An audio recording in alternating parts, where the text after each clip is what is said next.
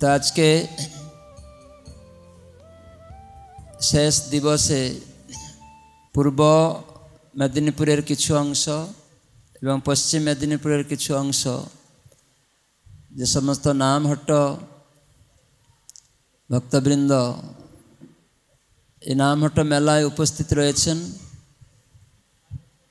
তো আমি সর্বপ্রথমে ইস্কন প্রধান কার্যালয় শ্রী মায়াপুর চন্দ্রোদয় মন্দির পক্ষ থেকে সকলকে অসংখ্য ধন্যবাদ জ্ঞাপন করছি। তো ভগবত কথা শ্রবণের প্রারম্ভে আমি আমার পরমারাধ্য গুরুপাদ পদ্ম আন্তর্জাতিক কৃষ্ণ ভাবনামৃত সংঘ তথা ইস্কন প্রতিষ্ঠাতা আচার্য কৃষ্ণকৃপা শ্রীমূর্তি, শিলা অভয়চরণারবিন্দ ভক্তিবেদান্ত স্বামী, প্রভুপাদের অন্যতম কৃপাধন্য, ইস্কনের অন্যতম গুরু, ইস্কন নাম হটের বিশ্ব মন্ত্রী এবং ইস্কনের অন্যতম গভর্নিং বডি কমিশনার জিবিসি ও মায়াপুর চন্দ্রোদয় মন্দিরের নির্দেশক ওম বিষ্ণুপাদ, অষ্টতর শত শ্রী শ্রীমৎ জয়পতাকা স্বামী শিল গুরুদেবের পাদপদ্মে দণ্ডবোধ প্রণতি নিবেদন করে তাঁর অহিতুকি কৃপা ও আশীর্বাদ প্রার্থনা করছি। এবং আমার পরমারাধ্য পরম গুরুপাদ পদ্ম আন্তর্জাতিক কৃষ্ণ ভাবনামৃত সংঘ প্রতিষ্ঠাতা আচার্য, কৃষ্ণকৃপা শ্রীমূর্তি শিল অভয়চরণারবিন্দ ভক্তিবেদান্ত স্বামী, প্রভুপাদের শ্রীপাদপদ্মে দণ্ডবোধ প্রণতি নিবেদন করে তাঁর অহিতুকি কৃপা ও আশীর্বাদ প্রার্থনা করছি। এবং উপস্থিত সকল সজ্জন ভক্তমণ্ডলী, মাতৃমণ্ডলী, পিতৃমণ্ডলী, ভাই ও বোন, আপনাদের সকলের চরণে প্রণাম নিবেদন করে আপনাদের অহিতুকি আশীর্বাদ প্রার্থনা করছি। তো আপনারা এই যে দুদিনের জন্য নামহট মেলায় উপস্থিত রয়েছেন বিশেষ এক মাসে, যেটি হচ্ছে পুরুষোত্তম মাস। ভগবানের নাম অনুসারে যে মাসের নাম হয়েছে, বহু লোক এই অধিক মাসকে মল মাস বলে কর্মকাণ্ডীরা ত্যাগ করে, কোনো শুভ কর্ম করে না। কিন্তু ভগবান হচ্ছেন মঙ্গলময়। তাই বৈষ্ণব ভক্তবৃন্দ, ভগবানের যারা ভক্ত, তারা এই মাসটাকে বরণ করেন। যেহেতু ভগবান হচ্ছেন মঙ্গলময়, তো তার নাম অনুসারে যে মাস, সেটাও মঙ্গলময়। তাই এই পুরুষোত্তম মাস ভগবানের নাম অনুসারে। তো এই মাসে নবদ্বীপ ধামে অন্তদ্বীপ মায়াপুরে ইস্কন প্রধান কার্যালয়, মায়াপুর চন্দ্রোদয় মন্দির, এ নামহট ভবনে আপনারা উপস্থিত রয়েছেন। শাস্ত্রে বলা হয়, কুরুক্ষেত্রম কৃতে তীর্থম। কৃতযুগ মানে সত্যযুগে তীর্থ হচ্ছে কুরুক্ষেত্র। ত্রেতয়া পুষ্কর স্মৃতম। ত্রেতয়া যুগে পুষ্কর হচ্ছে তীর্থ। দ্বাপরে নৈমেষারণ্যম। দ্বাপর যুগে তীর্থ হচ্ছে নৈমেষারণ্য। নবখণ্ডং কলৌ কিল। আর এই নবদ্বীপ ধাম হচ্ছে কলিযুগের তীর্থ। তো নবদ্বীপ ধাম আমরা বলি। ধাম শব্দের অর্থ হচ্ছে আশ্রয় বা গৃহ, ভগবানের গৃহ। ভগবান একমাত্র আশ্রয়। আমরা শ্রীমদ ভাগবত দ্বিতীয় স্কন্ধে দশম অধ্যায়ে আমরা সেটাই দেখি প্রথম শ্লোকেই যে ভগবান হচ্ছেন একমাত্র আশ্রয়। তো সেটি জগতে আচার্যরা প্রচার করেন। তো ইস্কনের প্রতিষ্ঠাতা আচার্য কৃষ্ণকৃপা শ্রীমূর্তি শিল অভয়চরণ অরবিন্দ ভক্তিবেদান্ত স্বামী প্রভুপাদ, তিনি ভগবানের শুদ্ধ সেনাপতি ভক্তরূপে তাই ভগবানকে তিনি দান করেছিলেন। সকলে যাতে ভগবানের আশ্রয়ে আসে। এজন্য তিনি প্রতিষ্ঠা করলেন ইস্কন, আন্তর্জাতিক কৃষ্ণ ভাবনামৃত সংঘ। আমরা শর্টে ইস্কন বলি, international society for Krishna consciousness, যার পুরো বাংলা অর্থ, ইংরাজিতে international society for Krishna consciousness Bangla অর্থ হচ্ছে কৃষ্ণ আন্তর্জাতিক কৃষ্ণ ভাবনামৃত সংঘ। যদি সমগ্র বিশ্ববাসী তারা কৃষ্ণ ভাবনায় ভাবিত হয়, কেন? সমগ্র বিশ্ববাসীকে কৃষ্ণ ভাবনায় ভাবিত হতে হবে? কেন আমরা অন্যদিকে দেবদেবীর ভাবনায় কেন হবে না? পিতামাতার ভাবনায় কেন হবে না? দেশের ভাবনায় কেন হবে না? যেহেতু পরমেশ্বর ভগবান কৃষ্ণ, যিনি সৃষ্টিকর্তা, তিনি ভগবদ্গীতায় সপ্তম অধ্যায়ে বর্ণনা করেছেন মময় বাংশ জীবলোকে জীবভূত সনাতন। জীব হচ্ছে আমার নিত্য, সনাতন মানে নিত্য, যার আদি অন্ত নেই। ভগবান যেহেতু নিত্য তাই তার অংশ, বিভিন্ন অংশ, জীব, আত্মা, আমি।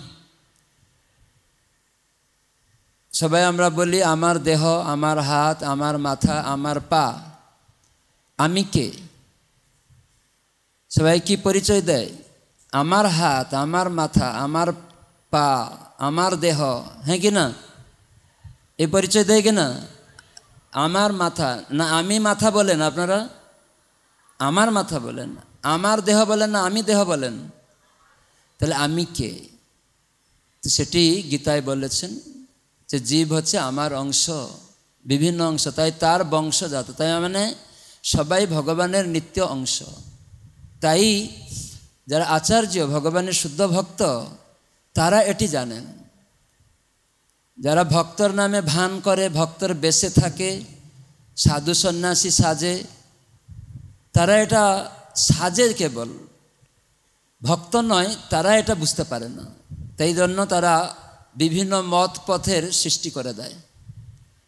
কিন্তু যারা ভগবানের ভক্ত, শুদ্ধ ভক্ত, তারা কেবল এই উপলব্ধি করেন যে না, জীব ভগবানের অংশ মানে জীবের কর্তব্য ভগবানের সেবাতে যুক্ত থাকা। সেটাই পন্থা। এই জন্যই শিলপ্রভুপাদ আচার্য রূপে তিনি সমগ্র বিশ্ববাসীকে কৃষ্ণ ভাবনায় ভাবিত পন্থা শিখালেন। তো সেটাই আমাদের পরম কর্তব্য। আর না হলে শাস্ত্রে বলা হয়, নিজে কৃষ্ণ বলছেন ভগবদ্গীতায় যে, মাম চ ভক্তি যোগেন সেবতে সগুণান সমতিতৈতান ব্রহ্ম ভূয়ায় কল্পতে। যদি গুণের মধ্যে আবদ্ধ থাকবে, আবুল তাবুল করবে, দেহের পরিচয় দিবে কিন্তু এই গুণ, সত্যগুণ, রজগুণ, তমগুণে আসক্ত হলে সে বিভিন্ন জিনিস গ্রহণ করবে। তার গুণ অনুসারে বিভিন্ন জিনিসের প্রতি আসক্ত হবে। কিন্তু ভগবান বলছেন, এই গুণ মুক্ত যতদিন না হবে, যেহেতু ভগবান এই গুণ সৃষ্টি করেছেন, রজগুণ, তমগুণ, সত্যগুণ, তো এই প্রকৃতিতে এই দেহটা ওই রকম গুণের দ্বারা আবদ্ধ হয়। কিন্তু ভগবানকে বুঝতে গেলে এই গুণমুক্ত হতে হয়। তো এই গুণমুক্ত হওয়ার পন্থা ভগবান নিজেই বলেছেন। তো সেটি হচ্ছে মামচ যো অব্যভিচারেন ভক্তি যুগেন সবতে। যে কেবলমাত্র আমার সেবাতে যুক্ত, অব্যভিচার মানে একমাত্র অনন্য ভক্তি, তার মানে কৃষ্ণের অংশ হিসাবে কৃষ্ণ সেবাতে যুক্ত। সেটাকে বলে অব্যভিচারী, ব্যভিচারী, অব্যভিচারী। একটা ছেলে মেয়ে বিয়ে হলো তো ছেলেটা যদি অন্য মেয়ের সঙ্গে মিশবে, তাকে কি বলবেন? কি বলবেন? ব্যভিচার করছে। মেয়েটা যদি অন্য পুরুষের সঙ্গে মিশবে, তাহলে তাকে কি বলবেন? ব্যভিচারিণী হয়েছে। হ্যাঁ কি না? তার মানে স্বামী স্ত্রী এক জায়গায় থাকাটাই অব্যভিচার। ঠিক সেরকম জীব ভগবানের অংশ হিসাবে ভগবানের সঙ্গে যুক্ত থাকা, তার সেবাতে যুক্ত থাকাই অব্যভিচার। না হলে সেটা ব্যভিচার। সেই জন্য আমাদেরকে বিচার করতে হবে মনুষ্য জীবনে। যে আমাকে সঠিক আত্মা হিসাবে, ভগবানের অংশ হিসাবে, তাই আমার পরম কর্তব্য তার সেবা করা। তাই ভক্তরা কি করেন? সেটাই প্রচার করেন। তাই ভগবদ্গীতায় কৃষ্ণ একটা শ্লোক বলেছেন, পঞ্চম অধ্যায়ে, কর্মসন্ন্যাসে, লভন্তে ব্রহ্ম নির্বাণম ঋষয় ক্ষীণকলমসা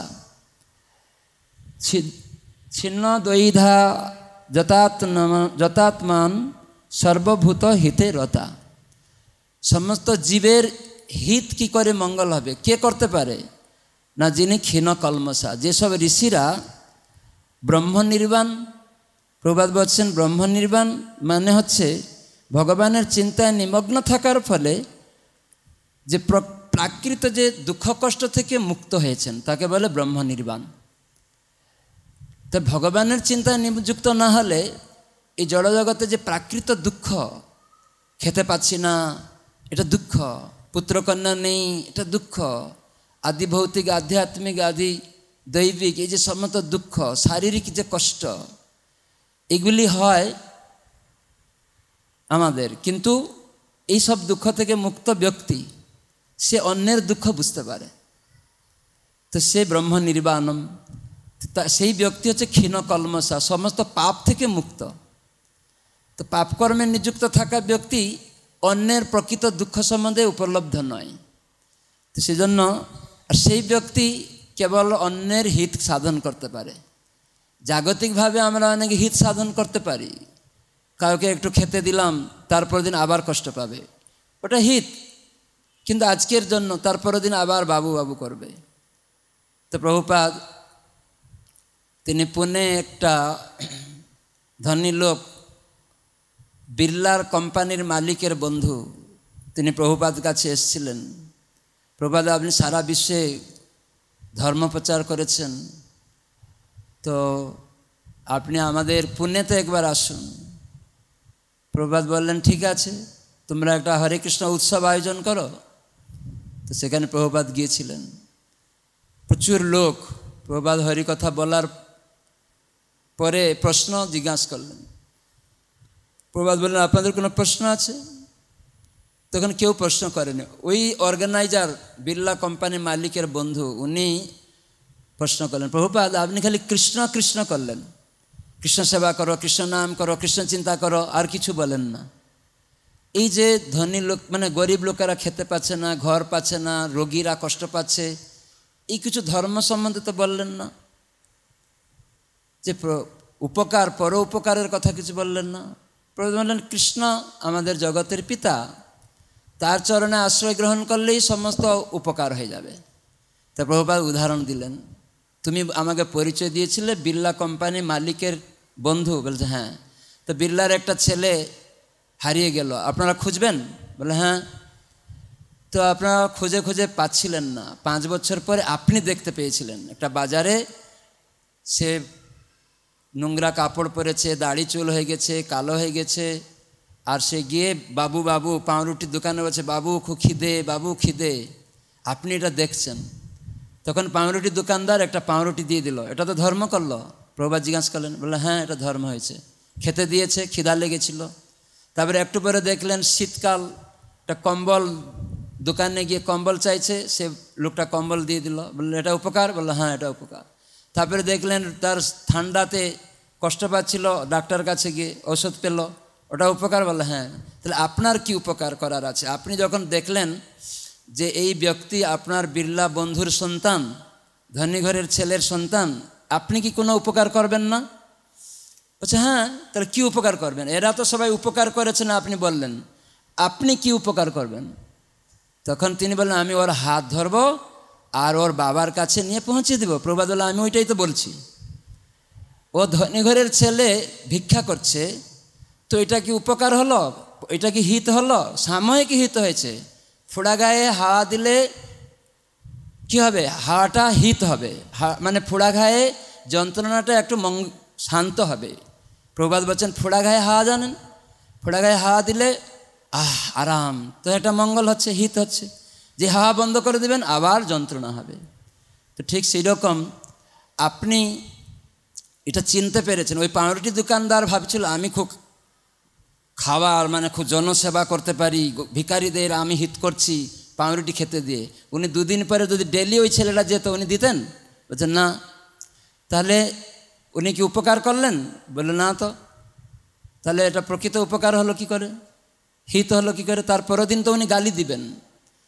ওই ঔষধ দোকানি, ওই বস্ত্র দোকানি সবাই একটু সাময়িক ফোড়াঘায়ে হাওয়া দিয়েছে, কিন্তু আপনি তার বাবার কাছে পৌঁছে দেওয়ার মাধ্যমে সব কিছু তার মঙ্গলময় করলেন, প্রকৃত পর উপকার করলেন। তখন সেই লোকটি বুঝল যে সত্যিকারের পরহিতটা কি? আমরা শুধু খেতে দিলাম এটা ভালো, কিন্তু সে কেন খেতে পায় না এটা জানে না। কেন তার রোগ হয়েছে এটা মানুষ জানে না। কেন সে বস্ত্র পাচ্ছে না, ঘর পাচ্ছে না? আমরা অহংকার করছি, আমি খেতে পাচ্ছি, আমি বস্ত্র দিচ্ছি, দুদিন দিবেন, তারপরে তারপরে তো আবার তাকে সেরকম ভিক্ষা করতে হবে। তো এই জন্য এই ব্যক্তিরা বুঝতে পারে না। সেই জন্য প্রভুপাদের সঙ্গ প্রভাবে সে লোকটি কৃপা পেল, যার ফলে সে বলল যে, তার বাড়িতে পৌঁছে দিলে, বাবার কাছে পৌঁছে দিলে তার সব দুঃখ যাবে। তাই প্রভুপাদ, আপনি ঠিকই বলেছেন, জগতের পিতা কৃষ্ণ সর্ববেদে কয়, পিতারে যে ভক্তি করে, সে সুপুত্র হয়। জগতের পিতা কৃষ্ণ যে না ভজে বাপ, পিতৃদ্রোহী পাতকিরে জন্ম জন্মে তাপ। তাই জন্ম জন্মান্তরে ধরে দুঃখ হবে, খেতে পাবে না, রোগ হবে। কেন? না প্রকৃত পিতা, তার অংশ আমরা না ভুলে, তাকে ভুলে যাওয়া। তাই আমরা ব্যভিচার করে বেড়ালে কখনো আমরা সুখী হতে পারব না। তো এই জন্যই এই নাম হট্ট প্রচার। শিল জয়প্রদাস স্বামী গুরু মহারাজ তিনি বলেছেন যে, নাম হট্ট কী? না লুপ্ত মানবতার পুনরুদ্ধার। মনুষ্য জীবনে যে মানবতা লুপ্ত হয়ে গেছে, তার পুনরুদ্ধার করতে হবে। সবাই বলবেন আমাদের কি পুন, মানবতা লুষ্ট হয়ে গেছে নাকি? আপনারা যখন আপনার ছেলে একটা মদের বোতল নিয়ে এলো, একটা অন্য মেয়েকে টেনে নিয়ে এলো বাড়িতে, আপনারা বাবা মা ভদ্র ব্যক্তি, আপনার ছেলেকে তখন কি বলেন? তোর একটু মানবতা নেই? তোর একটু মনুষ্যত্ব বোধ নেই? এটা বলেন কি না? বলেন কি না? তার মানে মানবতা নেই, মনুষ্যত্ব বোধ নেই, মনুষ্যত্ব মানে মনু মানব পিতা, এই জন্য মনুষ্য। বানর থেকে মনুষ্য নয়, তাই মনুষ্য মনু থেকে। তো সেই মনুর সম্মত আইন রয়েছে, তাই সেই মনুর যে শর্ত রয়েছে মানব সমাজের জন্য, তাই মনুষ্য সমাজকে পালন করতে হবে। তো সেটা যখনই আপনারাই বলেন, ছেলে যখন একটা মেয়েকে নিয়ে চলে এলো খারাপ তারপরে যখন মদের বোতল খেয়ে খেয়ে এলো, তখন আপনারা দেখা যাচ্ছে তোর একটু মনুষ্যত্ব বোধ নেই। তার মানে সে ভদ্র নয়। তাই জন্য কেউ যদি মদ খাবে, যদি কাউ কোনো জীব হত্যা করবে, তার মানসিকতা কীরকম হবে? খারাপ হবে। তাই মনু সংহিতায় বলা হয়েছে যে মাছ, মাংস খাবে না বা বিভিন্ন বৃত্তি অনুসারে হয়তো বলা হয়েছে। অধিকার অনুসারে নয়। মানে অনেক সময় কেউ হয়তো বলবে যে আমাদের শারীরিক বৃত্তি অনুসারে। তাহলে যেসব সন্ন্যাসীরা যদি বলে মানবের বৃত্তি, তাহলে সন্ন্যাসের বৃত্তি কি অন্য মেয়েকে সঙ্গ করা, মদ খাওয়া? তাহলে গৃহত্যাগ করছে কেন? তারা খাবে না। বৃত্তি অনুসারে, প্রবৃত্তি অনুসারে প্রবৃত্তি অনুসারে যদি কেউ বলে যে না না, মাংস খাওয়া উচিত প্রবৃত্তি অনুসারে, কিন্তু কার মাংস খাওয়া উচিত? হ্যাঁ মানুষ যদি মাংস খাবে, সেই প্রবৃত্তি অনুসারে কে? রজগুণ, তমগুণ ব্যক্তি, তার প্রবৃত্তিটা এরকম রয়েছে। সে কে খাবে? সেজন্য মন্য বা বেদে কি বলা হয়েছে? মাম স স খাদতি মাং। তার মানে তুমি খাবে তোমার প্রবৃত্তি অনুসারে। কিন্তু রজগুণ, তমগুণে আছো। তুমি যখন গৃহত্যাগ করে সন্ন্যাস বেশ আসছ তখন তোমার প্রবৃত্তি নয় মাছ মাংস খাওয়া, অবৈধ মানে মহিলা সঙ্গ করা। গৃহস্থ তার প্রবৃত্তি সে স্ত্রী সঙ্গ করবে, পুত্রার্থে গৃহতে ভার্যা যেটি কৃষ্ণ ভগবদ্গীতায় বলেছেন। হ্যাঁ যে কামস্মি। ভগবান এখানে বলছেন ভগবদ্গীতায় যে ধর্মের অবিরুদ্ধ কাম হচ্ছে আমি স্বয়ং, অহং কামস্মি, ধর্ম অবিরুদ্ধ। তার মানে গৃহস্থ ব্যক্তি সে স্ত্রী সঙ্গ করবে, কিন্তু সেটা ধর্ম অবিরুদ্ধ, যদি পুত্রার্থে ক্রিয়তে ভার্যা হয়। কিন্তু এমনি মিশবে তাহলে সেটা খারাপ হবে, পাপ হবে।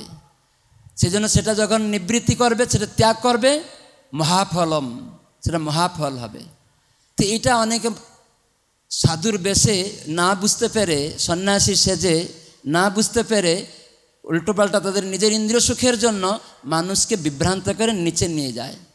তো সেই জন্য সেটা আমাদের করতে হবে। এই জন্য এই লুপ্ত মানবতা উদ্ধার করতে হবে। লুপ্ত মানবতা উদ্ধার এই জন্য নাম হট্ট সঙ্গ। সেখানে নাম মানে ভগবানের নাম। গৌরাঙ্গ স্বামী মহারাজ কালকে বলছিলেন। তো ভগবানের নাম হরে কৃষ্ণ হরে কৃষ্ণ কৃষ্ণ কৃষ্ণ, হরে হরে হরে রাম হরে রাম রাম রাম, হরে এটা কীভাবে করবেন? শ্রীমদ্ ভাগবতে সুখদেব গোস্বামী দ্বিতীয় স্কন্ধে প্রথম অধ্যায়ে এগারো নম্বর শ্লোকে বলেছেন, কীভাবে নাম করবেন?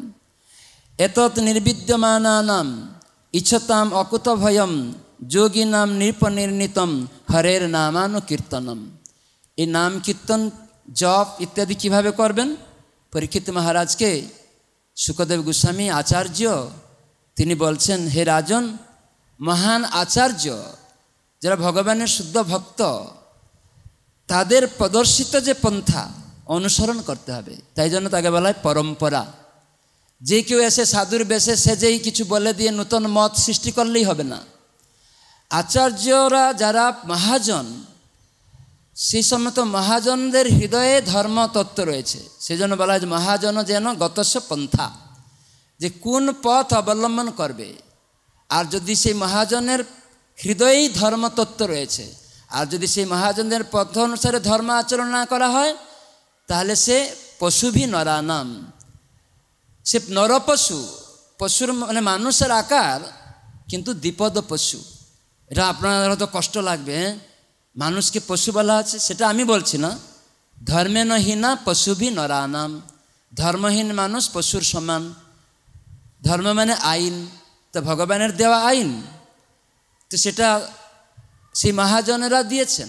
যমরাজ, ব্রহ্মা, শিব, চতুর্কুমার সেখানে রয়েছেন জনকরাজ, ভীষ্মদেব, সুখদেব গোস্বামী। তো এরা হচ্ছে কপিল দেব, এরা হচ্ছে মহাজন। তো সেজন্য আমরা ধর্মতত্ত্ব এই মহাজনদের পন্থা অনুসারে শিখব। কেউ নিজেকে মহাজন বানিয়ে দিয়ে সাধু সেজে বললে হবে না। শাস্ত্র কথা মুখস্থ করে বললে হবে না। তার উপলব্ধি লাগবে।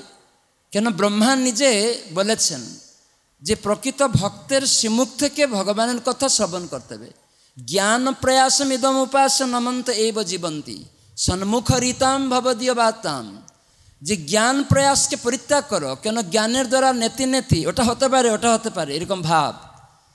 কর্ম দ্বারা তুমি ইন্দ্রিয় সুখে আসক্ত হবে, তাই সেই পন্থাকে বলবে, কিন্তু প্রকৃত মানুষের কি প্রকৃত যে ধর্ম, সেটা তুমি জানো না। তো সেই জন্য আচার্যদের পন্থা আমাদেরকে গ্রহণ করতে হবে। এই জন্য এই ভগবানের নাম, এই জন্য সেই নাম কৃষ্ণ, অভিন্ন তা ইস্কনের প্রতিষ্ঠাতা আচার্য ছিল প্রভুপাদ এই নাম জগতে প্রচার করেছেন, যাতে সেটা আমাদের সবসময় স্মরণ থাকে। সততম স্মর্তব্যম বিষ্ণু, বিস্মর্তব্যম ন জাতুচিত। এই জন্য প্রভুপাদ ওই পুণ্যতে বারবার কৃষ্ণ নাম করো, কৃষ্ণ সেবা করো, কৃষ্ণের সব কিছু যা কিছু কেন গীতায় কৃষ্ণ বলেছেন, মনমনা ভব মদ্ভক্ত মজা জিমাং নমস্কুরু। এই চারটি জিনিস করবে, আমার ধামে আসবে। ভগবানের সেবা করলে, ভগবানকে ভাবতে হবে। আমরা অন্য কিছু ভাবলে হবে না, আমরা অনেক কিছু ভাবি, আমরা পূর্ণ করতে পারব না। তো জল লাগবে? আপনি ভেবে জল দিতে পারবেন? চাষ করতে জল লাগবে? আপনি বৃষ্টি দিতে পারবেন? কিন্তু ভগবানকে ভাবুন, কেন এটা যজ্ঞ? তাহলে ভগবান গীতায় বলে দিয়েছেন, যজ্ঞ করলে বৃষ্টি হবে। অন্নাথ ভবতী ভূতানি পর্যনাথ অন্ন সম্ভব। যে বৃষ্টি না হয়, এটা গীতায় বলছেন। কিন্তু আমরা যদি গীতাতে বাদ দিই, তাহলে আমার শক্তি হবে না। বৃষ্টি না হলে খাদ্যশস্য উৎপন্ন হবে না। তাহলে আমি খাদ্যশস্য না গ্রহণ করলে শক্তি অর্জন হবে না। তাহলে আমি গিয়ে মাঠে খেলতে পারব না, ক্রিকেট খেলতে পারব না, ফুটবল খেলতে পারব না, কোনো কসরত করতে পারব না। পারবেন? যদি খাদ্যশস্য না হয়, তাহলে গীতায় কৃষ্ণ বলেছেন, খাদ্যশস্য যজ্ঞ করলে হবে। তা গীতার জ্ঞান, কিন্তু ওইটাকে বাদ দিয়ে কখনো আমরা শক্তি অর্জন করতে পারি না। আমরা ক্রিকেট খেলতে পারি না, আসন, প্রাণায়াম এইসব করতে পারি না। যদি গীতা থেকে জানি কি করে খাদ্যশস্য উৎপন্ন হয়, সেটা খেলে শক্তি অর্জন হবে, তারপরে আপনি যুদ্ধ করতে পারবেন। এই জন্য অর্জুনকে কৃষ্ণ বললেন, মাম, অনুস্মর যুদ্ধ চ তুমি কর্তব্য কর্ম ত্যাগ করছ বেটা, জঙ্গলে যাবে? আমাকে স্মরণ করো এবং যুদ্ধ করো। তার মানে ভগবানের নির্দেশ পালন করার মাধ্যমে শক্তি অর্জন হবে, তখন আপনি যুদ্ধ করতে পারবেন। আর না হলে গিয়ে এমনি এমনি যুদ্ধে শক্তি পাবেন না। তাই কৃষ্ণ বলছেন, যদি বৃষ্টি দরকার, তাহলে যজ্ঞ, সেই যজ্ঞ কলিযুগে হরিনাম। তো সেই জন্য আমরা অনেক ঘিটি পড়লে হবে না এই জন্য আচার্যরা বলবে, কোন যজ্ঞ? কলিযুগে নাম যজ্ঞ। তো সেই জন্য এই নাম যজ্ঞর দ্বারা বৃষ্টি হবে শাক সবজি উৎপন্ন হবে, খেলে শক্তি হবে তখন আপনি কাজকর্ম করতে পারবেন, ফুটবল খেলতে পারবেন, আপনি ক্রিকেট খেলতে পারবেন, যুদ্ধ করতে পারবেন, সব করতে পারবেন। কিন্তু যদি আপনি জ্ঞান অর্জন না করেন, না জানেন, তাহলে শক্তি কোথা থেকে পাবেন? এই জন্য মূর্খরা, তারা বুঝে না, উল্টু শিক্ষা দেয়। হ্যাঁ আমাদেরকে উল্টু শিক্ষা দেয়। জ্ঞানের দ্বারা বোঝা যাবে না। এই জন্য ভগবান বলেন জ্ঞান প্রয়াসকে পরিত্যাগ করে দাও। সাধু সঙ্গে শিখ। সাধুর বেশে যারা প্রচার করছে, সাধু সেজে শাস্ত্রীয় সিদ্ধান্ত পালন করে না, কেবল শাস্ত্রের কথা বলে নিজে আচরণ করে না, তাদের সঙ্গ নিষিদ্ধ আছে। অসৎসঙ্গ ত্যাগ, এই জন্য বলা হয়েছে। তো এই জন্য চিন্ময় শুদ্ধ পারমার্থিক সাংস্কৃতিক চর্চার উদ্দেশ্যে তার মানে এই নামহট্ট হচ্ছে সেটা যেখানে সাংস্কৃতিক অনুষ্ঠান করতে হবে। আমরা গান বাজনা করি, নাচ করি, নাটক করি, কিন্তু প্রভুপাত শিখালেন, কৃষ্ণকে কেন্দ্র করে নাচো। কৃষ্ণকে কেন্দ্র করে নাটক করো, তাই এখানে নাটক হচ্ছেও কৃষ্ণকে করে। গান গাইছে কৃষ্ণকে কেন্দ্র করে। কেন? কৃষ্ণ মানে সমস্ত শক্তি সব কিছুর আনন্দের উৎস। এই জন্য কৃষ্ণ শব্দের অর্থ সর্ব আকর্ষক। কৃষ্ণ মানে আনন্দ। তাই তিনি আকর্ষণ করে, তার সমস্ত সেবা আমাদের দান করেন আর যার দ্বারা আমরা আনন্দ লাভ করি। তো সেই আনন্দ হচ্ছে কৃষ্ণকে নিয়ে। তাই জন্য সব কিছু কৃষ্ণ। এই জন্য প্রভুপাত বলছেন সাংস্কৃতিক চর্চা, উদ্দেশ্য যে এই কৃষ্ণকে কেন্দ্র করে, তাহলে লুপ্ত মানবতা পুনরুদ্ধার হবে। তো সেটা হবে নিঃস্বার্থ সেবার দ্বারা। কোনো স্বার্থ নিয়ে নয়। আপনি আজকে ভিকারিকে খাওয়িয়ে গর্ব করলেন, এটা স্বার্থ হয়ে গেল। স্ব অর্থ জানতে হবে কি আমি কৃষ্ণের নিত্য দাস। এটা জগতের লোককে জানাতে হবে। যে জগতে মানুষ ভুলে গেছে, এটা জানাতে হবে। ভগবানকে ভুলে গেছে। এটা সব থেকে ভগবানের সেবা। এটা সব থেকে জীবের সেবা। যে জীব ভগবানকে ভুলে গিয়ে সে খেতে দিলেন, কিন্তু ভগবানকে বুঝতে পারল না। কিন্তু আপনি যখন জীবকে, ভগবানকে বুঝিয়ে দিলেন, না, তুমি তোমার পিতাকে ভুলে গেছো, এই জন্য খেতে পাচ্ছ না। প্রভুপাদ এটাই বললেন, যার ফলে ভগবান খুশি হলেন। তো তখনই জীব সেবা হয়ে গেল। যে এই জীবটা ভগবানকে ভুলে গিয়ে কষ্ট পাচ্ছে, বারবার রোগ হচ্ছে, বারবার ভিক্ষা চাচ্ছে নানা রোগ হচ্ছে, ঘর পাচ্ছে না। তাই ভগবানকে ভুলে গেছে বলে? তাই যে ভগবানকে তার কাছে পৌঁছে দিল, এই জন্য প্রভুপাদ ইস্কন, আন্তর্জাতিক কৃষ্ণ যে কৃষ্ণ ভাবনায় ভাবিত হও, তাহলে তুমি বুঝে যাবে কেন আমি খেতে পাই না। তাহলে এটাই প্রভুপাদ সব থেকে প্রকৃত জীব সেবা করে, ভগবানকে সন্তুষ্ট করেছেন। হ্যাঁ জীবকে এটাই ভালোবাসা, এটাই জীবের প্রেম। তাকে শুধু ভাত, ডাল দিয়ে এটা প্রেম হয় না। এটা মানুষ জানে না। প্রকৃত জীবের প্রেম হচ্ছে এটা। যে প্রকৃত যে পরহিত মঙ্গল ভগবান সেখানে খুশি হন। নাহলে হবে না। কিন্তু আমরা যদি মনে করি যে একটা ঘরের মধ্যে কিছু মানুষকে রেখে দিলাম, তা বললাম যে ভগবান, প্রত্যেক জীবের হৃদয়ে আছে, তাই ভগবানের মানে জীবকে সেবা করা মানে ভগবানের সেবা হয়ে গেল। মেদিনীপুরে সব সবঙ্গে সব হাই স্কুলের মাস্টার ছিল। তখন আমাকে বলছে, মহারাজ, যে জীব সেবা হয়, যখন মানে জীবকে সেবা করলে পরমাত্মা ভগবানের সেবা হয়ে যায়। তখন আমি বললাম, সবাই আপনারা এই ঘরে ঢুকে যান। আপনারা এখন পরমাত্মা, এই ঘরটা হলো জীব। তো আমি গেটের বাইরে খাবার দিব। তো আপনি পরমাত্মা সন্তুষ্ট হবেন? তখন সব হাই স্কুলের হেডমাস্টার বলে না, কী করে হয়? আমি তাহলে জীবকে খেতে দিলেন, পরমাত্মা কি করে সন্তুষ্ট হবে? কি করে সন্তুষ্ট হবে? আপনি তো নিজে বলছেন যে, না, এটা কি করে সম্ভব? তখন ওরা বুঝে গেল, ও, তাই তো হয় না। যে প্রকৃত ভগবান যদি তিনি ভালোবাসতে হয়, তো তার জীবকে যদি ভালোবাসতে হয়, তাহলে সমস্ত জীবের মধ্যে পরমাত্মা আছেন, তার সেবা ভুলে গেছে, সেটা শিখাতে হবে। তো সেই জন্য প্রভুপা সারা বিশ্ব শিখিয়েছেন, জসমিন তুষ্টে জগৎ তুষ্ট। যাকে সন্তুষ্ট করলে সবাই সুস্থ হয়ে যাবে, পেটকে খেতে দিলে সবাই খুশি হবে। এই জন্য এই মহোৎসব, সেবা, প্রকৃত সেবা মানে সেব্যের তুষ্টি। যিনি সৃষ্টিকর্তা ভগবান, তিনি সেব্য। তাই তার সন্তুষ্টি বিধান। না করে আমি নিজের ইন্দ্রিয় সুখ করব, আবার দুদিন পরে কষ্ট পাব। আপনার বাবা সেবা করলেন, কি করে হবে? তো হবে না। তো এভাবে প্রভুপাদ এই সম্মত জিনিস বলেছেন, যেখানে আমরা জড়জাগতিক প্রতিবন্ধক মুক্ত করে আমরা সম্পূর্ণ ভগবানের নামের আশ্রয়ে সঙ্গবদ্ধকারী এই অপ্রাকৃত যে সমাবেশ, সেটা হচ্ছে নামহট্ট। তো এখানে একটা সংঘ হয়ে গেল। তো সেই সংঘতে আমরা কীভাবে থাকব? তো সেজন্য প্রভু প্রভুপাত বিভিন্ন শিক্ষা দিয়েছেন। একটা সংঘের মধ্যে থাকতে গেলে কি কি করণীয়? তো সেজন্য আপনার নামহট্ট সংঘ। তো এই নামহট্ট সংঘতে সেখানে কমপক্ষে মহাপ্রভু বলছেন, দশ পাঁচ মিলে নিজের দ্বারে বসতে হবে। তাহলে পাঁচ থেকে দশজন সদস্য লাগবে। তো সেই সঙ্গবদ্ধ হতে গেলে আমাদের কমিটি থাকল। তো সেখানে কি করতে হবে? কেন্দ্রবিন্দু রাখতে হবে। প্রবাদ বলছেন, কোনো একটা সঙ্ঘে প্রত্যেকের যদি কেন্দ্রবিন্দু সেই সংঘের মধ্যে না থাকে, তাহলে সেই সংঘটা পরিচালনা ঠিক হবে না। তো সেজন্য আমাদের নাম হট্ট সংঘের কেন্দ্র হচ্ছেন কৃষ্ণ নাম। কৃষ্ণ, সেজন্য নামাশ্রয় করে। যতনে তুমি থাকো আপন কাজে। সেজন্য সমস্ত কর্ম সম্পাদন করবেন।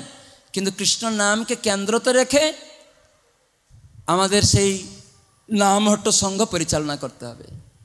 তো সেখানে কিছু করতে গেলে আমরা দশজন আছি সদস্য। কোনো একটা অনুষ্ঠান করব। তো সেখানে যিনি সম্পাদক, সভাপতি, কোষাধ্যক্ষ রয়েছেন, প্রভুপাদ একটা তাৎপর্য বলছেন, সভাপতি মানে যিনি তার সদস্যদের নিজের পরিবার মতো ভাববেন, নিজের পরিবারের লোক।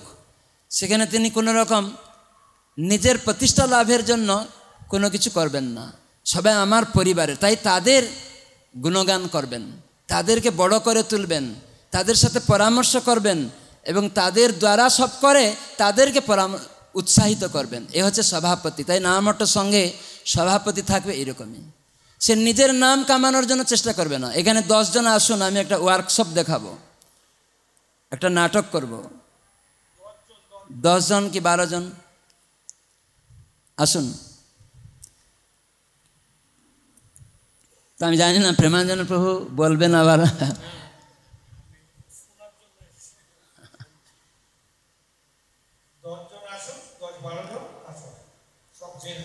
ওই কাগজগুলি কোথায়?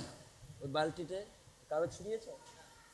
আপনারা সবাই নাম লিখে দিন, নিজের নাম, কলম দিয়ে দাও, ফটাফট। দুই মিনিটের মধ্যে সবাই নাম লিখুন। দশ বারো জন। এই বালতিটা এখানে রাখো।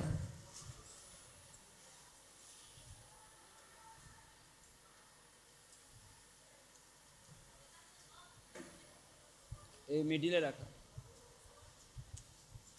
নাম লিখে মুড়িয়ে দিবেন। এ আপনাদের নামটা লিখে কাগজটা ভাস করে এই বালতির মধ্যে রেখে দিবেন। হ্যাঁ ভাস করে আরও ভাস করে দিন। পুরা চার ভাস করে মুড়িয়ে রেখে দিন। কেউ চলে যাবেন না। এখানে সব ফেলে দিন। তাড়াতাড়ি।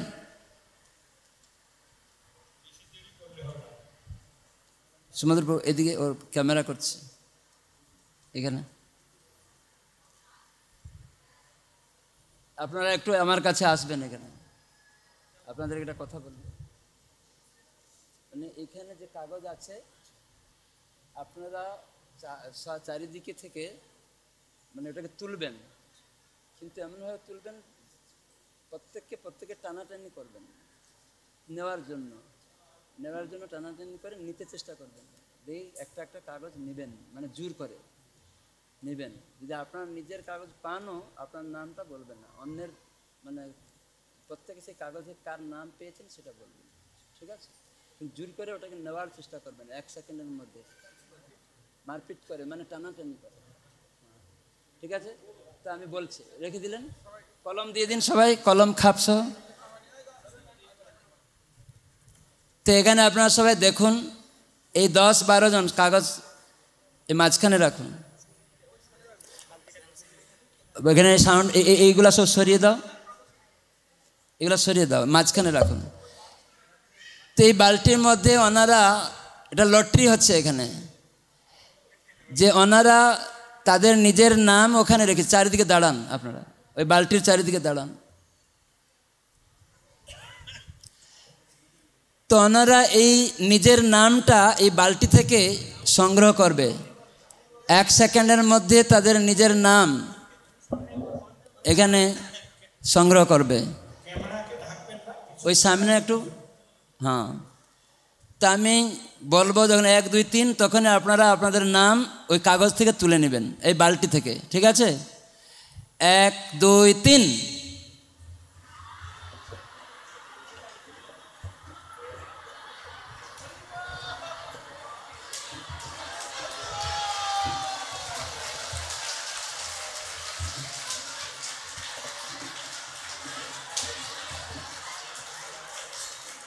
নিন নিন। আচ্ছা আপনারা সাইডে চলে যান এবারে।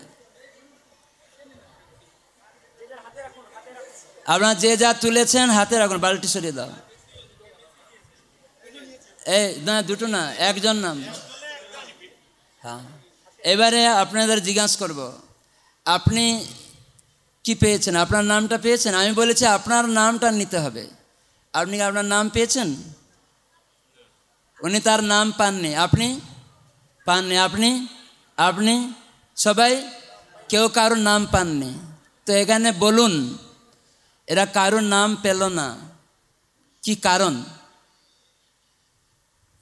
কি কারণ কে বলবেন? কেন নিজেদের নাম ওখানে ছিল? তারা নিজের নামটা নিতে চাইলো, কিন্তু পেল না। কি কারণ? কে বলতে পারেন? মাইক্রোফোন? কললেস মাইক্রোফোন লাগবে। কে বলবেন আপনাদের মধ্যে? কে বলবেন বলুন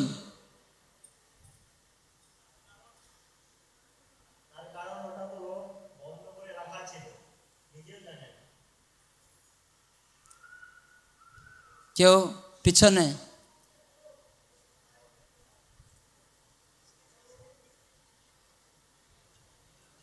তাড়াতাড়ি আমি জানতে চাইছি হরে কৃষ্ণ অ্যাকচুয়ালি এখানে যে যার নাম কামানোর জন্য আমরা চেষ্টা করছিলাম তাই আমরা নিজের নামটা আপনি খুঁজে পাই না। ধন্যবাদ। যে নিজের নাম পাওয়ার জন্য অন্যের নাম দিতে চায় না, তো কি করলে পরে নিজের নাম পাওয়া যেত, এটা বলুন কেউ। কি করলে পরে এখানে নিজের নাম পাওয়া যাবে? কে বলবেন? কি করলে পরে নিজের নামটা পাওয়া যাবে?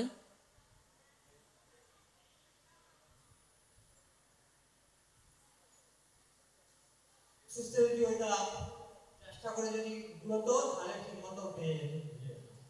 খুব সুন্দর। যদি একটা কাগজ তুলে যার নাম লেখা ছিল, সেই নামটা ডেকে যদি তাকে দিয়ে দিত, তাহলে প্রত্যেকে প্রত্যেকের নাম পেয়ে যেত। ধন্যবাদ। ঠিক আছে, বসুন গিয়ে। হরে কৃষ্ণ হরে কৃষ্ণ কৃষ্ণ কৃষ্ণ, হরে হরে। হরে রাম হরে রাম রাম রাম, হরে হরে। তাই নামহট্ট সংঘের যারা লিডার হবে, সভাপতি হবে, সেক্রেটারি হবে, প্রচার করবেন, তাহলে অন্যকে নাম দিতে চেষ্টা করতে হবে। অন্যকে বড় করতে চেষ্টা করতে হবে। প্রভুপাদ সবসময় তার শিষ্যদেরকে সেবা দিয়ে তাদের গুণগান করেছেন, বড় করেছেন।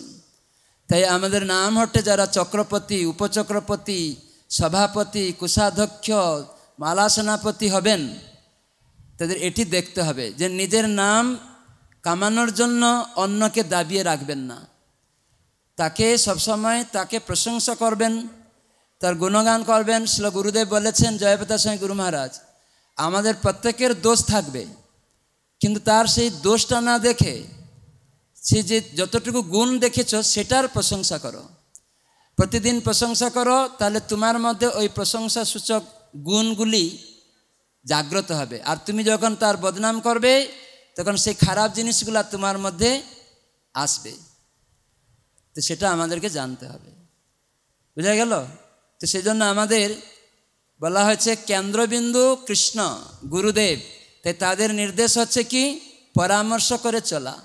তাই সঙ্গের মধ্যে থাকলে পরামর্শ করতে হবে। নিজে নিজে কোনো সিদ্ধান্ত নেবেন না। স্বতন্ত্র সিদ্ধান্ত নেবেন না। প্রশ্নের মাধ্যমে বা পরামর্শ করতে হবে। এই জন্য অন্যদের সঙ্গে পরামর্শ। তারপরে আমাদের জানতে হবে যে কি করে প্রত্যেকের সাথে আমাদের যে ভালোবাসা থাকবে, কে বলতে পারেন? পরস্পর মধ্যে কি করে ভালোবাসা জাগ্রত হবে? এটা কে বলতে পারেন? হ্যাঁ? কি করে আমাদের পরস্পর মধ্যে ভালোবাসা হবে? ছিল জয়প্রদাস স্বামী গুরু মহারাজ বলেছেন, আপনারা কেউ বলছেন না।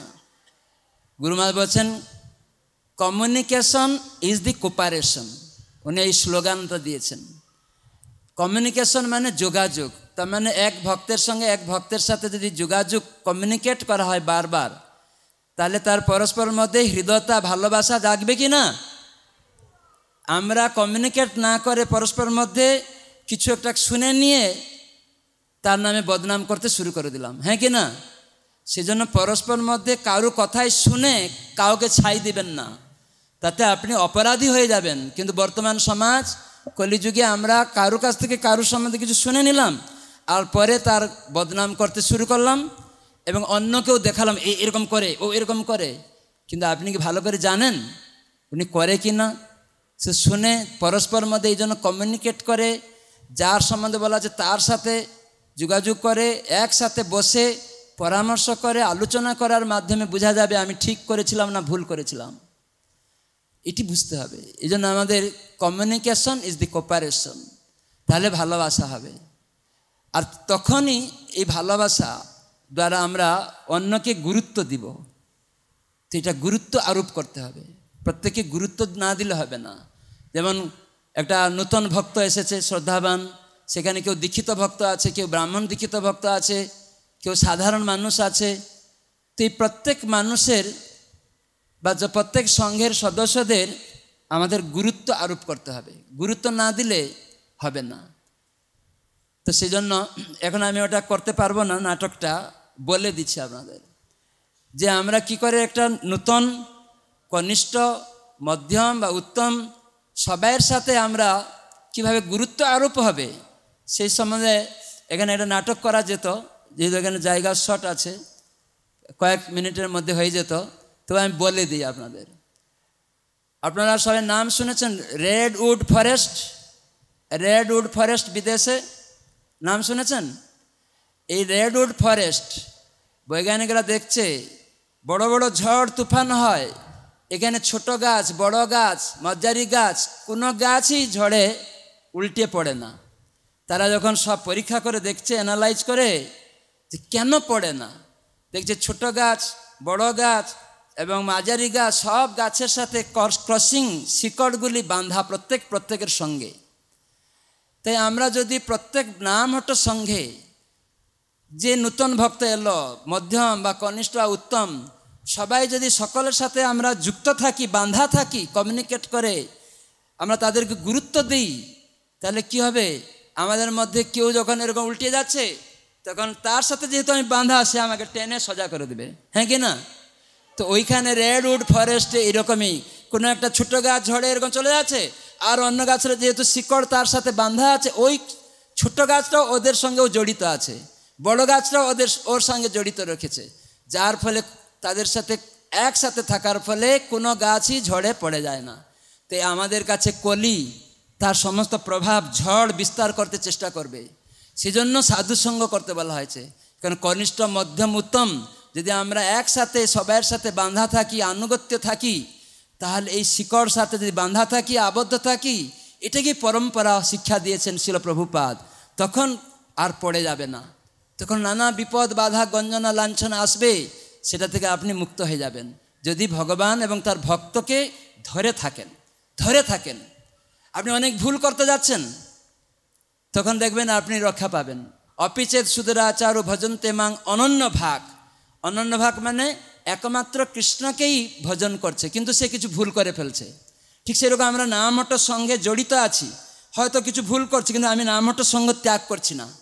নামকে ত্যাগ করছি না, আমি ধরে রাখছি, কিন্তু কিছু কখনো কখনো আমি ভুল করে ফেলছি। বাইরে চলে গিয়ে একটু হয়তো ভুল করে ফেললাম, কিন্তু আমি নামহট্টর সঙ্গে আমাকে বকা দিলেও আমি জড়িয়ে থাকছি, ধরে থাকছি, ছাড়ছি না, তখন সে রক্ষা পাবে। সেই জন্য কৃষ্ণ বলছেন খুব দুরাচারী, অতি দুরাচারী হয়ে যাবে। কিন্তু আমাকে ছাড়ে না। সে একদিন শুদ্ধ ভক্তে পরিণত হবে। এই সম্বন্ধে প্রভুপাত কত শিক্ষা দিয়েছেন। তো সেই জন্য আমাদের ভক্তদের এই জিনিস উপলব্ধি করতে হবে। যে কেউ খারাপ কিছু হয়ে গেল, তাকে নিন্দামন্দ করবেন না। কৃষ্ণ নিজে বলছেন, তাকে দুরাচারী বলে ত্যাগ করবে না। আর কে ত্যাগী হয়ে যাবে, কে ত্যাগ হয়ে যাবে, না যে সঙ্গে থাকবে না। এই জন্য নরোত্তম দাস ঠাকুর বারবার প্রেমভক্তি চন্দ্রিকায় বলছেন, যদি করি অপরাধ, তথাপি হ তুমি নাথ সেবা দিয়া কর অনুচর। প্রভু, আমি যদি অপরাধীও হই, তবু আমার নাথ, আমি তোমাকে ছাড়বো না। আমাকে সেবা দিয়ে অনুচর করো। যদি করি অপরাধ, তথাপি হ তুমি নাথ সত্য সত্য যেন সতীরপতি দুই কথা দুই রকম বলছেন। যে যদি করি অপরাধ সেবা দিয়ে রাখো, আবার যদি করি অপরাধ, তুমি কীরকম গুণগান করো? না, সতীর প্রতি সতী নারী তার স্বামীর সেবা করে। সে অন্য কারও সেবা করে না। সতী নারী তার স্বামী সেবা করতে গিয়ে কিছু ভুল হয়ে গেল। স্বামী তাকে বকা দিল। কিন্তু স্বামীকে সে ত্যাগ করে না। বকা দিলেও, প্রহার করলেও সেই স্বামী সেবাতেই লেগে থাকে। ত্যাগ করে চলে যায় না। তো সেই স্বামী, সেই স্ত্রীকে ত্যাগ করবে? কোনোদিন ত্যাগ করবে না। নরোত্তম দাস ঠাকুর এরকম বলছেন, যদি করি অপরাধ, তথাপি হ তুমি নাথ সত্য সত্য যেন সতীর পতি। তোমরা দেখুন, আমি যদি অপরাধও করি, তুমিও সতী নারীর মতো। তোমার সেবা দিয়ে আমাকে অনুচর করে রাখো। তো এই কথাগুলি আচার্যরা আমাদেরকে শিক্ষা দিয়ে গেছেন। সেই জন্য আমাদের শত বাধা, শত গঞ্জনা, লাঞ্ছনা, বিপদ, এসব আসবে। তো এই জন্য আমি অনুরোধ করব, এই যে নামহট্ট সংঘ সপ্তাহে কি মহামিলন প্রতি সপ্তাহে আপনারা বসবেন, সেখানে খাতা থাকবে। পাঁচ দশজন একটা গ্রুপ করবেন, সেখানে চারটি খাতা থাকবে। সেই খাতাতে একটা খাতা থাকবে অ্যাটেন্ডেন্স খাতা, যেখানে সদস্যের নাম থাকল, প্রতি সপ্তাহে রুটিন করা থাকবে। প্রথম সপ্তাহে আসছেন সবাই, সেখানে নাম লেখা হয়ে গেল, কে এসেছে, না এসছে, প্রেজেন্ট দিলেন হরে কৃষ্ণ বলে। তারপরে কেউ আসেনি, তখন সেখানে সভাপতি বা লিডার তখন সে পরে খোঁজ করবে, কেন আসেনি? আজকে সপ্তাহে ওনার অনেক সেবা, গুণগান করবে। এই প্রভু অনেক সেবা করেন নামহটের তিনি আজকে কেন এলেন না? তো তার জন্য সে তিনি চিন্তা করবেন, নিজেদের পরিবারের মতো। এই হচ্ছে প্রেজেন্ট খাতায় দেখে নিচ্ছেন বা শুনছেন, এই ভক্তটা আজকে আসেনি। তো তার জন্য চিন্তা করবে। এটা ভক্তিবিনু ঠাকুর বলেছেন যে, সে আসেনি বলে তাকে গালাগালি করবে না, ফোন করে। হ্যাঁ তুমি না এলে কি আমাদের নামটার সঙ্গে বন্ধ হয়ে যাবে? বেটা, কেন আসেনি? এরকম না। তাকে বলতে প্রভু, আপনি কেন আসতে পারেনি আপনার অনেক সেবা। আপনি যে সেবা থেকে, আপনার সঙ্গ থেকে আমরা বঞ্চিত হলাম, এটা ভক্তিবিনু ঠাকুর নামটতে শিখাচ্ছেন। তো এইরকম না করে আমরা গালাগালি করলাম। আরে, খুঁজ করেছি কি? সে কী জন্য আসতে পারিনি? কী জন্য তার অসুবিধা হয়েছিল? আমার মনে পড়ছে, বোম্বেতে নাকি পুনেতে কোনো একটা মন্দিরে না জেনে আমরা খারাপ মন্তব্য করি। তো একটা ভক্ত, কনিষ্ঠ ভক্ত, নূতন ভক্ত, ওর একটা অসুস্থ হয়ে গিয়ে ওর কমরটা নোয়াতে পারে না। ডাক্তার বলছে, তুমি কোনো প্রণাম করতে পারবে না, দাঁড়িয়ে দাঁড়িয়ে প্রণাম করবে। নূতন ভক্ত, তো যখন মন্দিরে যায়, সবাই দাঁড়িয়ে হরে কৃষ্ণ করে। তো অনেক তার সিনিয়ররা বলছি বেটা কি হয়ে গেল? কয়েকদিন আগে এলো আর অহংকার হয়ে গেল? প্রণাম করে না ভক্তদের, সম্মান করতে জানলো না সব গালাগালি দিতে শুরু করছে। তখন অনেক ভক্ত দেখছে যে এ তো ঠিক করছে না, নতুন ভক্ত, কাউকে সম্মান করে না, প্রণাম করতে জানে না, মন্দিরে গিয়েও এরকম করছে। আর ভক্তদের দেখেও এরকম করছে, হরে কৃষ্ণ প্রভু। তখন এক অথরিটির কাছে গিয়েছে, প্রভু, এই ভক্তটা কি হয়ে গেল? এই নতুন ভক্ত কাউকে সম্মান করছে না, দাঁড়িয়ে দাঁড়িয়ে হরে কৃষ্ণ প্রণাম করে না, সবাই ভক্তরা প্রণাম করে, মন্দিরে গিয়েও এরকম করছে। সব ভক্তরা অসন্তুষ্ট ওর উপরে, তাকে গালাগালি করছে।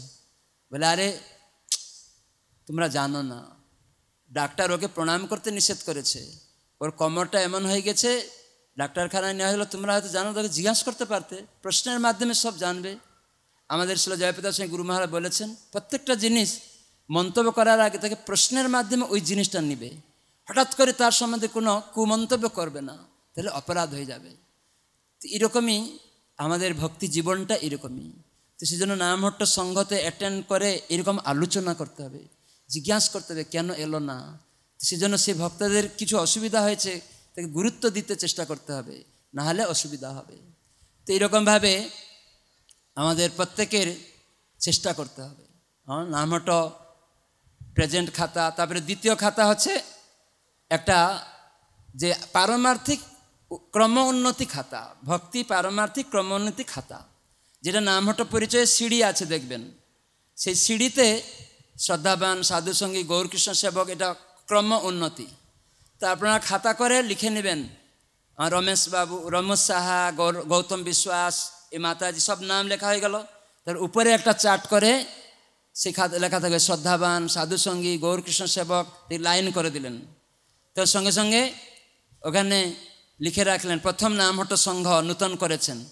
গৌতম সাহা, শ্রদ্ধাবান, একমালা জপ করবেন প্রতিকা। নামহট্ট সঙ্গে যুক্ত হতে গেলে প্রথমে আমাদের কমপক্ষে একমালা দৈনিক জপ করতে হবে। কোনো নিয়ম কানুন নেই, মাছ, মাংস খাচ্ছে, যা খাচ্ছে খাক, অভ্যাসের জন্য। হ্যাঁ সেখানে কোনো নিয়ম নেই। কেবল হরে কৃষ্ণ মন্ত্র জপ করবে, আর সপ্তাহে যে মহামিলন দিনে কেবল নিরামিষ খাবে, একদিন। এই অভ্যাস। তো প্রত্যেকে শ্রদ্ধাবান হয়ে গেল। তখন এই ডেটে ওরা আমাদের সঙ্গে যুক্ত হয়েছে।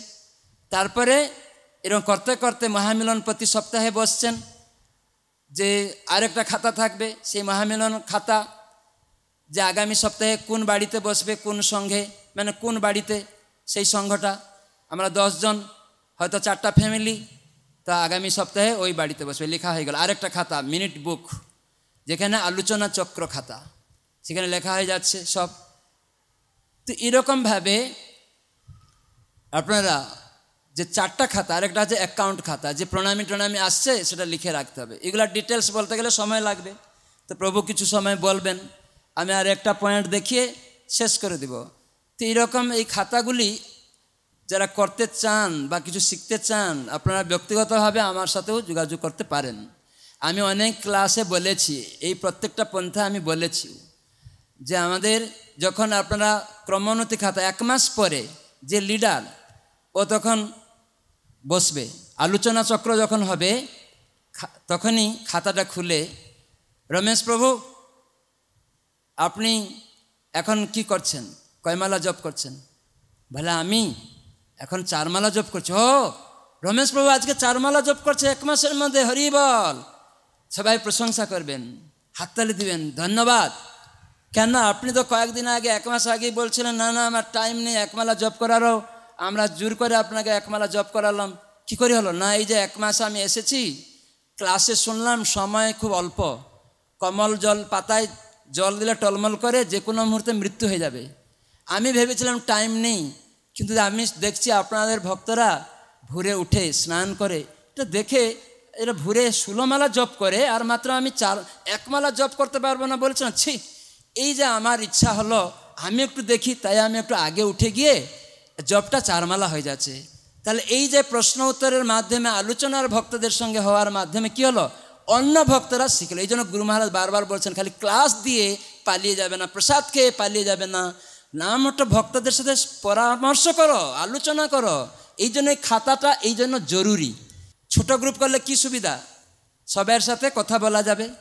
যদি পঞ্চাশ জন হয়, সবার সাথে কথা বলা যাবে? তো কেউ এলো যে বুঝাই যাবে না, পালিয়ে যাবে। এই জন্য গুরুমা বলছেন, বড় গ্রুপকে ছোট ছোট করে এরকম আলোচনা চক্র করো। তো সেজন্য এই যে লেখা হয়ে গেল, আজকে রমেশ বাবু শ্রদ্ধাবান থেকে সাধু সঙ্গী স্তরে ডেট দিয়ে দিলেন। ক্রমে ক্রমে এইরকম প্রতি মাসে মাসে ইনকোয়ারি করতে করতে দেখবেন প্রভুপাদ আশ্রয় এসছে কেউ। কেউ গুরু আশ্রয়ে চলে এসছে। কিন্তু এখন আমরা আন্দাজে বলে দিচ্ছি উনি গুরু আশ্রয়। না। আন্দাজে খাতা থেকে বলতে হবে। তো সেই জন্য ক্রমোন্নতি খাতা আর একটা আলোচনা চক্র খাতা। আলোচনা চক্র খাতাটা কি? না প্রতি সপ্তাহে কোন বাড়িতে বসবে এবং পাঁচজন, দশজন সদস্যকে সেবায় যুক্ত করতে হবে। প্রভুপাত ভগবদ্গীতার বারো অধ্যায়ে ছ, সাত, আট, নয়, দশ এই শ্লোক তাৎপর্যের মধ্যে আমাদের কীভাবে প্রত্যেককে সেবায় অংশগ্রহণ করাতে হবে। অনেক লোক করতে চায় না। ভগবানের সেবায় যুক্ত হলে বলে, না না, আমার এই জব করা টাইম নেই, আমি এই ঘুরে উঠতে পারব না। আরে না উঠুক, তাকে অন্য দিকে এনগেজ করে দাও, কৃষ্ণ সেবায়। সেই জন্য আমরা যদি তাদেরকে বলি, আরে ভাই, আগামী সপ্তাহে আপনি ওই আসনটা ওখানে বৈষ্ণবরা বসবে, ওখানে আপনি বিছাবেন। আপনি ওখানে লাইট সুইচগুলা দিবেন। আপনি ওইখানে যে সবজি আমান্য হয়, আপনি ওখানে সবজি আমান্য করবেন। কার জন্য? কৃষ্ণ এবং কৃষ্ণ ভক্তের জন্য। এ কিছু করতে চায় না, ওইখানে যখন যুক্ত হয়ে যাচ্ছে সদস্যরা, নতুন ভক্তরা, তখন আস্তে আস্তে কৃষ্ণ সেবাতে যুক্ত হওয়ার ফলে স্বাদ পাবে। তখন নিম্ন স্বাদ চলে যাবে, একদিন সে শুদ্ধ ভক্তে পরিণত হবে। আমরা জোর করে কাউকে করতে পারব না। এই বিদেশিরা এরকমই ভক্ত হয়েছে। আমাকে একজন ভক্তিচারু স্বামী গুরু মহারাজ শিষ্য, বয়স হয়ে গেছে, মহারাজ, আমি এখন বুড়ো হয়ে গেছি, তো আপনি তো আমাকে সব রেকমেন্ড করেছিলেন। আমি বললাম, তখনই বলেছিলাম যে আপনার কি করে বুড়ো হয়ে গেলে করবেন না? কৃষ্ণ আশ্রয় এখন আমার ছেলে মেয়েরা কেউ পছন্দ করছে না, বৌমারা। আমি যে কী করে করবে? আপনি তো তাদেরকে দূরে দূরে রাখেন। আজকে একটা বলব প্রভুপাত কীভাবে বলেছেন? আপনার বৌমাকে ডাকবেন, বলবেন, বৌমা, একটু এই বাসনটা মেজে দিবে? হ্যাঁ বৌমা, একটু এই সবজিটা আমান্য করে দিবে, আপনি রান্না করবেন। একটু ধুয়ে এনে দাও চালটা। এখন ঠাকুর ঘরে মালাটা একটু ছেলে নাতিকে বলবেন, একটু নাতি, তুই একটু ঠাকুর ঘরের মালাটা একটু করে চন্দন ঘষে দাও নাতনি। ছেলেকে বললেন, বাজারটা ফুলটা নিয়ে আসবে, ঠাকুরের জন্য এই যে যুক্ত করে দিলেন। তখন পরে আমাকে বলছে, মহারাজ, আমার বৌমা ছেলে ভক্ত হয়ে গেছে। আমি তাহলে এই প্র্যাকটিক্যাল জিনিসটা শাস্ত্রে আছে, আচার্যরা বলছে, আমরা নিজেকে খুব বড় শুদ্ধ ভক্ত, আমি দীক্ষা হয়ে গেছে, আমি কাউকে আর শিখাবো না। না না, অংশগ্রহণ করতে এই জন্য আমার বক্তব্য হচ্ছে এখানে যে নামহট্ট মহামিলনে, এই জন্য খাতায় লেখা থাকবে, নূতন ভক্ত আমরা এখন দীক্ষা হয়ে অহংকার করছি। নামহট্ট মহামিলনে এরকম আলেখ্য সেট। ছোট্ট, আমি দিতে চাইছিলাম গিফট করতে বলছিলাম, এখন ওনারা হয়তো দিবে। নামহট্ট সংঘকে আপনারা বাইন্ডিং করে নেবেন। রাধা মাধব, পঞ্চদত্ত নৃসিংহদেব, জগন্নাথ আর পরম্পরা, এগুলো আপনারা বাইন্ডিং করে নেবেন। প্রত্যেক নামহট্টকে আমি বলছিলাম গিফট করার জন্য সংঘকে যেখানে প্রত্যেক সংঘ একটা মহামিলন যে সপ্তাহে সাধু গৃহস্থ বাড়িতে লেখা হচ্ছে হবে ওখানে একজনের নাম থাকবে। আগামী সপ্তাহে ওই বাড়িতে আলেখ্য সেট সাজানোর দায়িত্ব রমেশ মাহাস মাতাজির, বা এই মাতাজির। তাহলে ও গিয়ে সাজাবে। আসন বিছাবে একজন, বাসন ধুইবে একজন, তাহলে প্রতি সপ্তাহে চেঞ্জ হবে। এরকম সব নাম লেখা থাকবে। গান করবে ইনি। সে গান জানে না, কিন্তু নাম লেখা আছে। পাঠ করবে ইনি, কিন্তু নাম লেখা আছে। কি করে করবে? যে গান জানে না, প্রভুপাদ একবার গান গাইছে খারাপ। বলছে তোমরা তার পাশে দাঁড়িয়ে গানটা করো, একসাথে ও ভালো গাইছে না। তো আমরা নাম হটে প্রথম এইটি সিক্সে আমাদের সুদর্শন প্রভু শিখাতো। বলতো, আরে, কেবল দুইজন প্রচারক আর তোমরা কি প্রচারক হতে চাও না? ওরা তোমাদের শিখাচ্ছে না। আমি চাই প্রতি সব দিন এখানে ব্রহ্মচারী যখন থাকবে, চারটা থেকে ছটা বসবে। তুমি করতাল বাজাতে জানো না, যে জানে তুমি করতাল ধরবে, ও বাজাবে। তুমি গাইতে জানো না, ও গাইবে, তুমি তার পাশে। তোমার নাম থাকবে গাইবার। তোমার নাম থাকবে ভাগবত পাঠের। কিন্তু তোমার আগের দিনে পড়ে আসবে, যা পড়লে তোমার সাথে একজন সাহায্য করবে। তো এইরকম হচ্ছে আমাদের একজন একজনকে শেখাতে এই জন্য আরতি শেখাতে হবে। একটা মাতাজি বলছে, মহারাজ আপনি বলছিলেন যে প্যান্ট শার্ট পরে আসছে, নতুন ভক্তকে আরতি শেখাতে হবে। বলে হ্যাঁ। সেও আরতি করবে। কেন? তার যোগ্যতা দেওয়া হলো, সপ্তাহে একদিন নিরামিষ খাবে আর হরিনাম প্রতিদিন করবে। এই হচ্ছে যোগ্যতা নামটের নূতন ভক্তকে কি করে আরতি শিখাবেন, কি করে? আমি জিজ্ঞাসা করলাম, আপনি কি ব্রাহ্মণ দীক্ষিত হয়েছেন? বলল হ্যাঁ। আপনি কি করে এত কিছু শিখলেন? আপনি যখন মাছ, মাংস খাচ্ছিলেন, মহামিলনে আসছিলেন, আপনাকে আরতি করানো আমরা শিখিয়েছিলাম? বলল হ্যাঁ। তো এখন আপনি অন্যান্য ভক্তরা অহংকার করছে না না, ও মাছ, মাংস খায়, আরতি করবে কেন? আপনি করেছিলেন কি না? বলে হ্যাঁ। তাহলে আপনি শিখেছিলেন? মাছ মাংস খাওয়ার অবস্থায়? বলছে হ্যাঁ। তাহলে আপনাকে শেখানো হয়েছিল। ঠিক এই লোককে নামটো মহামিলনে শিখাতে হবে। যার বাড়িতে দীক্ষিত ভক্ত, তার ঘরে, ঠাকুর ঘরে সে আরতি করবে না। সেই জন্য আল্লেখ্য সেট আলাদা থাকবে। যেখানে বারান্দায় সাজানো হবে, নতুন ভক্তরা সেখানে করবে। তাহলে আমাদের প্যান্ট শার্ট পরার লোক কী করে আরতি করবে? মালা নেই? বলে, না। প্যান্ট শার্ট পরার লোক সেজন্য নাম হচ্ছে একটা ধুতি আর একটা উত্তরী থাকবে, আর একটা তুলসী মালা থাকবে। ওই দিনে তাকে ধুতি পরাতে বলতে হবে, ধুতি পরো, কণ্ঠিমালা পরো, তারপরে আচমন করিয়ে এবং অপবিত্র বলে বলিয়ে তুলসী মহারানীর আরতি, তার নাম লেখা আছে, বলো হাত জুড়ি করে, একজন শিখাচ্ছে, তুলসী মহারানী, আমি খুব অপ পাপকর্ম করি, আমি কোনো আচরণ করি না, দয়া করে আপনি আশীর্বাদ করুন, আমি যেন তোমার ভক্ত হয়ে কৃষ্ণ সেবা করতে পারি, আরতি করতে শিখি, আজকে আমাকে শেখানো হচ্ছে।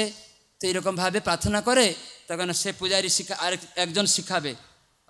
এখানে জল দিন, ঘন্টাটা উপরে ধরুন, আর ধূপে জল দিন এরকম তুলসীকে ঘুরান, শিখাচ্ছে। শিখে গেল। তারপরে আপনি লজ্জা করবেন না, ধুতিটা আপনি যাওয়ার সময় এখানে খুলে রেখে যাবেন, মালাটাও খুলে রেখে যাবেন, ঠিক আছে?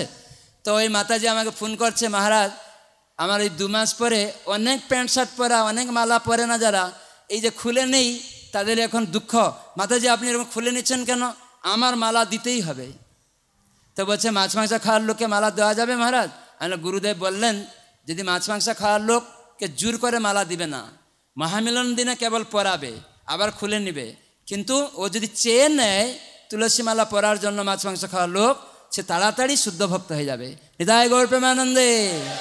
তো ওই মাতাজি আমাকে বলল, মহারাজ, এখন আমার সেই প্রভুরা, ভক্তরা, মাতাজিরা এখন আর মাছ, মাংস খাচ্ছে না। যে এটাই আচার্যদের শিক্ষা। ক্রম ক্রম অনুসারে আমাদের শিখাতে হবে। তো এরকমই এই কয়েকটা বললাম। বিস্তারিত যেতে গেলে প্রেমাঞ্জন প্রভু অনেক মূল্যবান বৈজ্ঞানিক ভিত্তিক কথা বলবেন। আমি আর বলব না, তবু একটা পয়েন্ট এখানে দেখিয়ে দিব। পূজার সম্বন্ধে শর্ট বলব শুধু। তো এখানে আমি কয়েকটা জিনিস দেখাবো শুধু। তো আমাদের জননিবাস প্রভু নামট ভক্তদের শর্ট বলেছেন। আপনারা সবাই আরতি করেন। আমাদের যখন প্রহ্লাদানন্দ মহারাজ একবার বলছিলেন, প্রভুপাদ, যখন শিখায়নি কয়বার আরতি ঘুরাতে হবে, কি করতে হবে? উনি বলছিলেন, আমি যখন একটা মন্দিরে গিয়েছি, পূজারি বলল, আমি একটু জায়গা যাব, তুমি পূজারি কাজটা করবে তখন বেশি ভক্ত ছিল না। তো উনিও বলে যায়নি, তোমাকে কতবার ঘুরাতে হবে, কি করতে হবে? এখন প্রভুপাদ বলে গেছিলেন তার শিষ্যদের, সেজন্য আমাদের GBC body Pancharatra Pradip ready করেছেন। সেখানে এখন পূজারি কোর্স হচ্ছে শেখানো হচ্ছে। তে আরতি নামটা পরিচয়ের মধ্যে দেওয়া আছে। এবং ভোগ লাগানো সিস্টেম দেওয়া হয়েছে। আহ, প- পঙ্কজাঙ্গিনী প্রভু জননিবাস প্রভু তারা বলছিলেন আমি খালি দুইটি জিনিস দেখাবো। যেহেতু আমাদের আরতি করতে যায় ভক্তরা অত সময় করে ঘোরাচ্ছে তো ঘোরাচ্ছে। কেন ঘোরাচ্ছে? না এখানে রাধাকৃষ্ণ আছে পঞ্চতত্ত্ব নৃসিংহদেব জগন্নাথ পরম্পরা তুলসী। তুলসীটা ওই পাশে আছে। তুলসী মাস থাকবে, যে কোনো অনুষ্ঠানে ভাগবত কথা বলুন, যাই করুন, তুলসী মাস যেন থাকে। তুলসী বিনা কোনো কিছু পূর্ণ হবে না, এই জন্য তুলসী মাস থাকবে। তুলসী যেন এই পরম্পরা থেকে উপরে থাকে, পঞ্চতত্ত্ব লেভেলে থাকে। এখানে আমরা ফার্স্ট সাজানো কথা বলি। উপরে আমরা রাধাকৃষ্ণ রেখেছি, তারপরে জগন্নাথ, পঞ্চতত্ত্ব এইসব রেখেছি। যেহেতু এখানে নিত্যানন্দ প্রভু বলরাম জগন্নাথ হচ্ছেন, তার মধ্যে বলরাম রয়েছেন। তো সেজন্য আমরা রাধাকৃষ্ণের সাথে একসাথে রাখিতে পারি না। তত্ত্বগত বিচারে যেমন গোপাল, বাৎসল্য রসে, সেজন্য অনেক ভক্তর বাড়িতে সিংহাসনে রাধাকৃষ্ণর সাথে একসাথে গোপাল রেখে দিচ্ছে।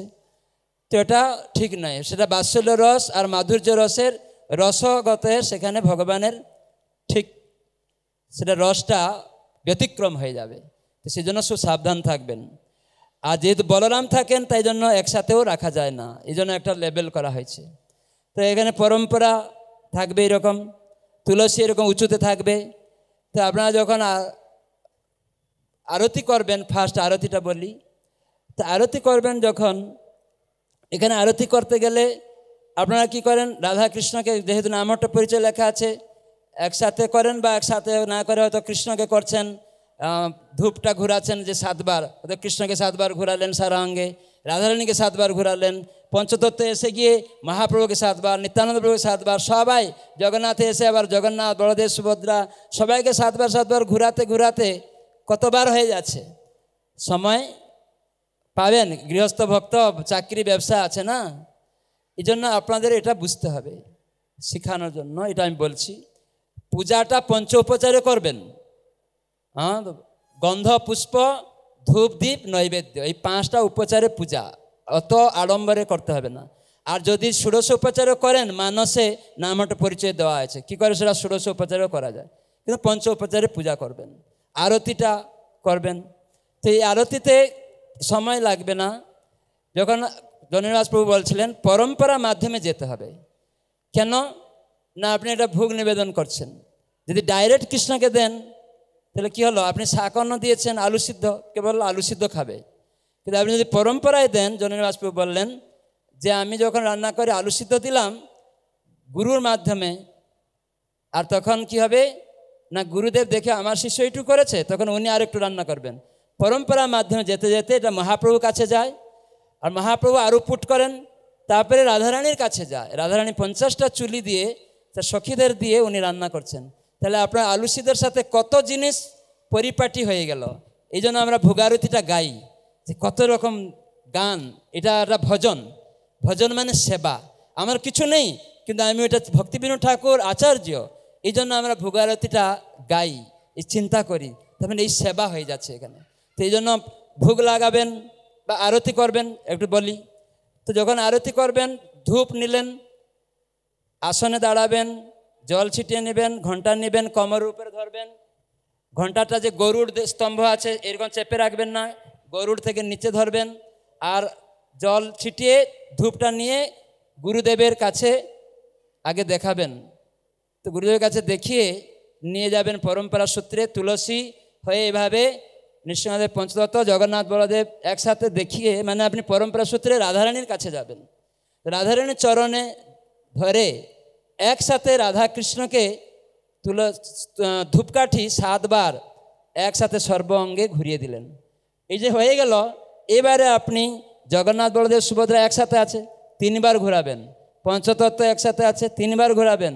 নৃসিংহদেব তিনবার, তুলসী তিনবার, পরম্পরাতে এসে তিনবার করে করতে পারো, আর একবার করে করে গুরুদেবের কাছে এসে তিনবার করতে পারো যদি সময় থাকে তাহলে সব পরম্পরায় তিনবার করে গুরুদেব তিনবার করে জনসাধারণ দেবতা পিতৃপুরুষ বৈষ্ণব, তাদের উদ্দেশ্যে তিনবার ব্যাস, এই ধূপকাঠির আলোচনা এইরকম প্রত্যেকটা জিনিস শিখতে হবে। আমাদের এখানে অনেক ঠাকুর আছে, তাহলে আমাদের মূল বিগ্রহ রাধাকৃষ্ণ।